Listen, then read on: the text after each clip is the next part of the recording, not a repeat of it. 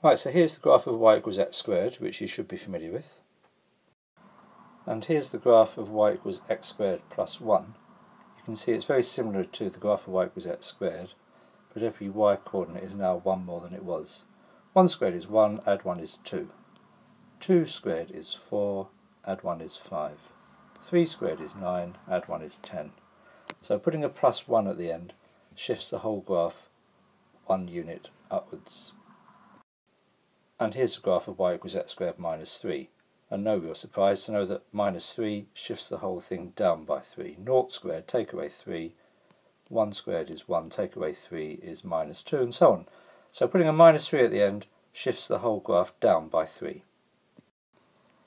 Now putting a minus sign in front of the x squared reflects the whole graph in the x-axis. So the graph is reflected, instead of 1 squared being plus 1, now it's uh, 1 squared, put a minus sign in front of that, that's minus 1. 2 squared is 4, but put a minus sign in front of it is minus 4.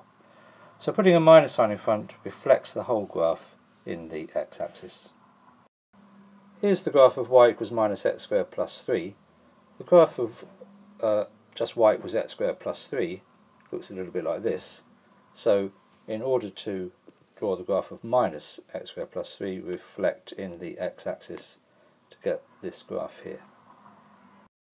Now we're looking at the graph of y equals x minus 1 all squared.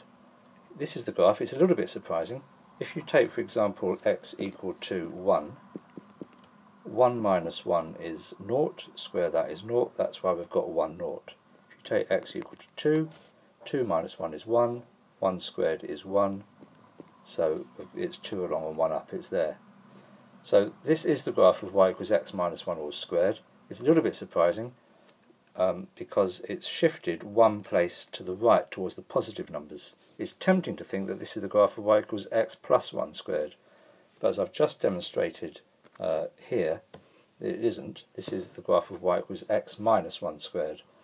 So putting a minus 1 inside the brackets shifts the whole graph one place to the right. And so when we put an x plus 2 inside a bracket, the whole graph of y equals x squared shifts two places to the left. Again, a little bit surprising, but the plus 2 inside the bracket shifts it two places to the left towards the minus numbers. So in some ways it's the opposite of what you might expect. Now we've got the graph of y equals 2x squared. This is like the graph of y equals x squared, but every y value is doubled. That's what 2x squared means. It means get the x squared and double it. So 1 squared is 1, 2 times 1 squared is 2, so this point here is at 1, 2. Uh, let's take 2 squared is 4, 2 times 4 is 8, so this point here is 2, 8. So 2x squared doubles the whole graph. It stretches it by a scale factor of 2 in the direction of the y-axis. So y equals 3x squared does the same, but this time it stretches it by a scale factor of 3. Now you may have seen the graph of y equals sine x before. Here is here's what it looks like.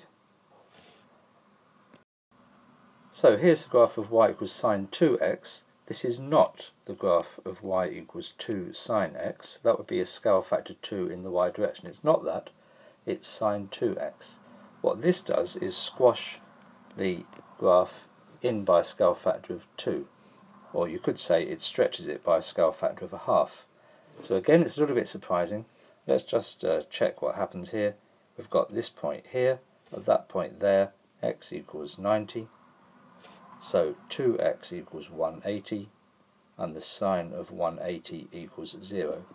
You can check that on your calculator um, and this shows that putting the 2x inside those brackets squashes it by a scale factor of 2 or stretches it by a scale factor of a half. And so when we get to y equals sine a half x, this is similar, but it stretches it by a scale factor of 2, or you could say squashes it by a scale factor of a half.